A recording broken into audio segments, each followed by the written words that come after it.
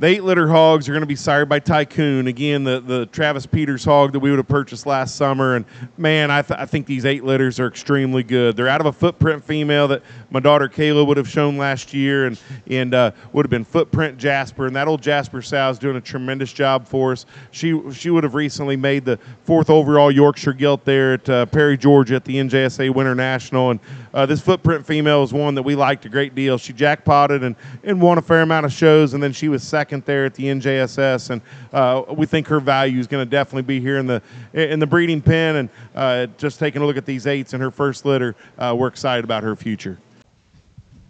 Yorkshire Gilt on the screen here is 8 9, a little bigger one on pounds for the set we've got here today. Uh, really looks like a lady. That one uh, looks like a heavyweight to me. She looks like a very feminine looking one. It's always going to be sharp looking out of her front end. You're not going to have to get any colored buckets to figure out how to keep that one good looking because that one is always going to have that that extension and that jaw line, uh, uh, that cocky kind of look. Uh, she's got a shot more length of body and shot more length of bone in a green type of fashion, which again uh, would be kind of why you'd try to project that one out to maybe look uh, probably its very best at a heavyweight rate to uh, to kind of get that one uh, collected where she needs to, and everything kind of comes together in, in good kind of balance. She's sound, she's athletic, she's got a great kind of a running gear, very good femininity. Uh, looks like a sow, but looks like a, a very good kind of a show gilt. It's going to be a great heavyweight. That's 8 9 Yorkshire Gilt.